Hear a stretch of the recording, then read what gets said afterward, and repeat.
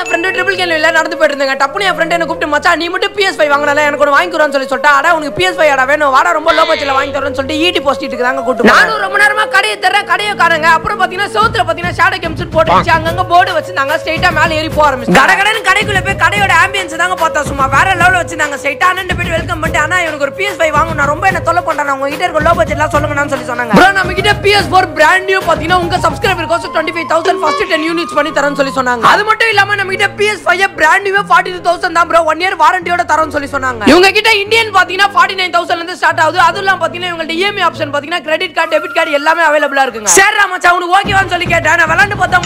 சொல்லி சொல்லிட்டான் அந்த அண்ணன் பார்த்தீங்கன்னா ஒரு கேம் போட்டு கொடுத்தாங்க சரி இப்போ ஓகே சொல்லி கேட்டேன் ஓகேன்னு சொல்லி சொல்லிட்டாங்க நாங்களும் பார்த்தீங்கன்னா இஎம்ஐ e ஆப்ஷனில் போட்டு வாங்கிட்டு வந்தாங்க